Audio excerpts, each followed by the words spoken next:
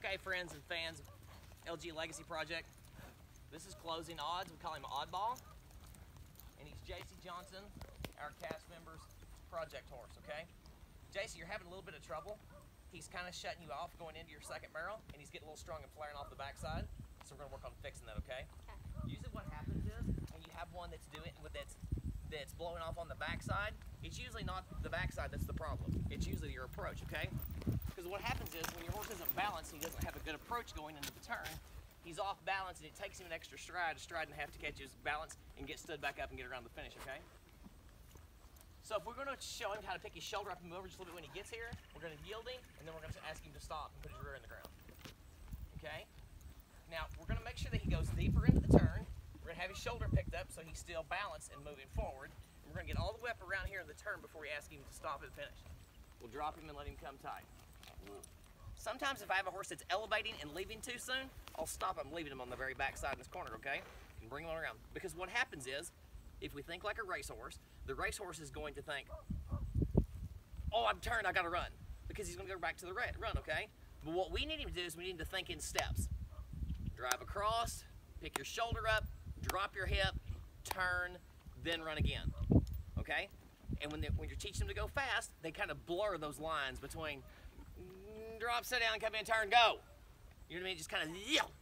So we have to remember to bring him back down in stages. Go across, pick your shoulder up, drop your rear end, make your turn, finish that turn, and then drive on, okay? So that's the whole lesson that we want to do. We want him to pick his shoulder up, and we want him to move over just a little bit, we want to carry him balanced up into the turn. So in order to do that, we're gonna bring him across here. We're gonna bring him across here. And as we go and approach our, our pocket, we're gonna yield his shoulder a little bit. See, he's got his shoulder up nice and, and balanced and his hips in just a little bit. That means he's balanced, he's got that hock up under him, okay? So then we're gonna walk a nice little soft circle. We're gonna be sure that he doesn't try to pivot and turn too soon. He's wanting to turn back here, we want to turn up here. Then when he gets here, then we'll finish him tight and make sure that he leaves off square and headed to the third barrel, okay? Step, step, step, step. Kind of like when you're learning a new dance and they count them off, you have to go, I have to one step, two step, one, two, three, four. It's the same for your horse. And if you break it down into those steps, then you're getting back online, then you can easily progress him into speed again. Make sense? Okay, kill it. Shoulder up, your hands. Don't fold your hands over, under like that. You're gonna shorten these up a little bit. Shorten these up a little bit. Shorten, there you go. And we're gonna move them together at the same time. So we're gonna go bump that inside spur. You're gonna take both hands across. Don't come in here. Okay? We're gonna take him. We're gonna ma- we're gonna count it out for him. So move your shoulder over and then go forward. Good. Have just a little bit of the tip of his nose so he's staying balanced.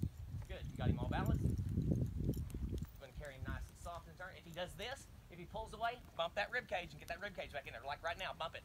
Bump it so he's looking. Knuckle up and come out. Now circle it again. You want to get off your outside reining, but get all your pressure from your inside hand. Come on around again.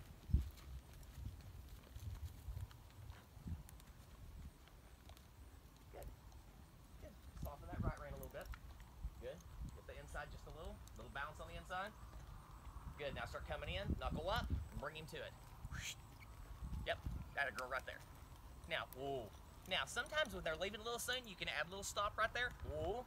So he, you, you make sure that he finishes one task before he heads to the next task. Okay? He can't get halfway around his turn and then elevate and check out. So we got to make sure that he goes. "Now I got to finish what I'm doing, and then I can run. Make sense? Okay, good. Pick up your inside just a little bit. Lift your hands just a little bit. Got it, girl. Good. Now pull with your hand inside. Go right where you want to go. Right there.